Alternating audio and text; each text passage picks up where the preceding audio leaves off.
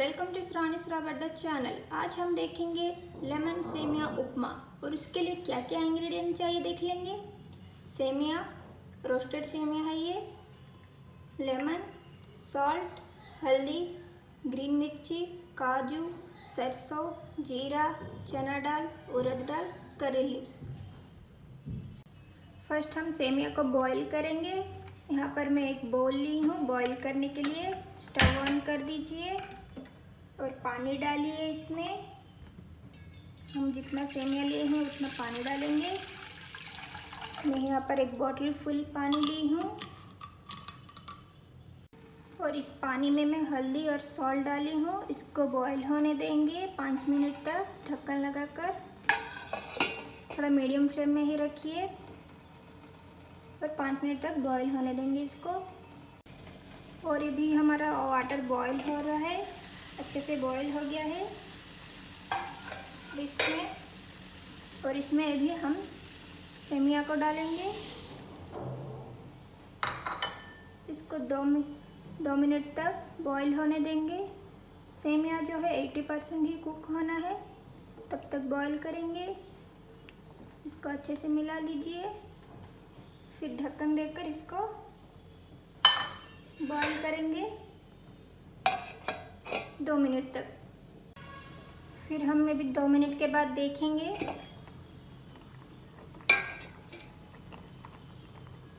ढक्कन खोल लिया है और अभी देखिए सेमिया एटी परसेंट कुक हो गया है और ट्वेंटी परसेंट कुक नहीं हुआ है। इसको हम स्टव ऑफ़ कर लीजिए और इसका वाटर स्टेन करेंगे अभी इसको। और अभी मैं इसका वाटर स्टेन कर ली हूँ।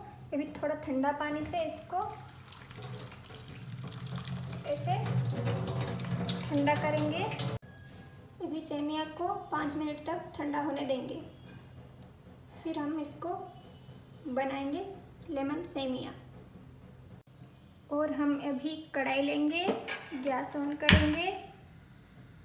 थोड़ा गर्म होने के बाद तीन स्पून ऑयल डालेंगे।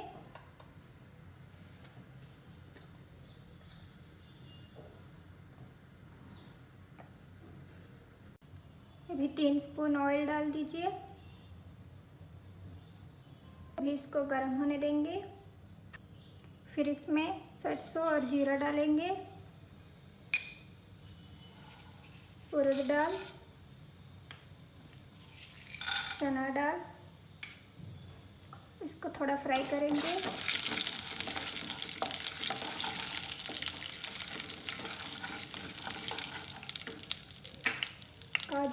दीजिए।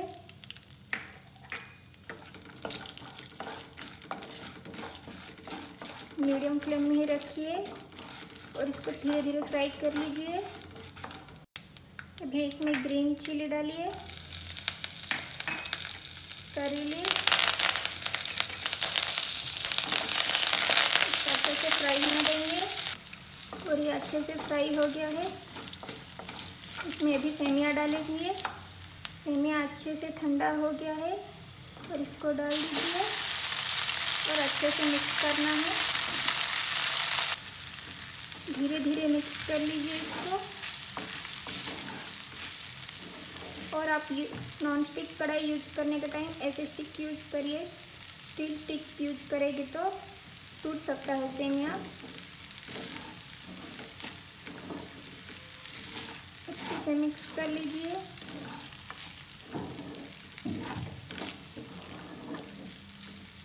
फिर इसमें थोड़ा सॉल्ट डालेंगे।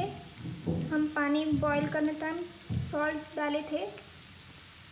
तो ज़्यादा सॉल्ट नहीं लगेगा, थोड़ा ही लगेगा। और इसको अच्छे से मिक्स करिए अभी अब मिक्स करने के टाइम ऐसे राउंड राउंड घुमाकर मिक्स करिए।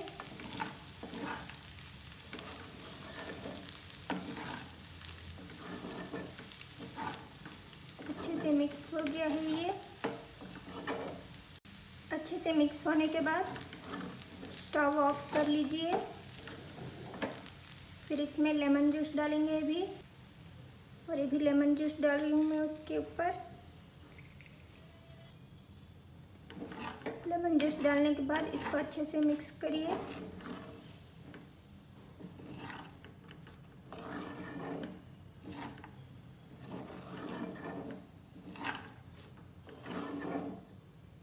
और ये अच्छे से मिक्स हो गया है। इसको दो मिनट तक ठंडा होने देंगे और सर्व करेंगे भी। Lemon semiya upma ready friends अगर आपको अच्छा लगा तो लाइक शेयर कमेंट सब्सक्राइब कर लीजिए। आप ज़रूर ट्राई करना। और इंटरेस्टिंग रेसिपी के साथ आपके सामने आऊँगी। तब तक के लिए bye thanks for watching this video